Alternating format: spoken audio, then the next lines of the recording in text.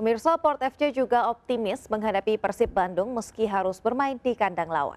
Sementara back Port FC Asnawi Mangkulam mengakui Persib adalah tim yang bagus dan berharap kedua tim bisa tampilkan permainan terbaik. Rabu malam, punggawa Port FC menggelar latihan terakhir di Stadion Sijalak Harupat, Bandung sebelum hari ini menantang Persib Bandung di laga Liga Champions Asia 2. Pelatih Rangsan Viwat Caicok mengetahui banyak informasi tentang Persib Bandung termasuk skema permainan pelatih Bojan Hodak. Pelatih Port FC juga mengulik informasi kekuatan Persib dari Asnawi yang pernah dilatih pelatih Persib saat ini.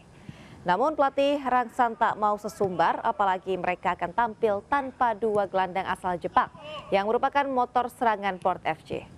Sementara Asnawi menyatakan Persib merupakan salah satu tim kuat dan berharap kedua tim yang bertanding bisa tampilkan penampilan terbaik.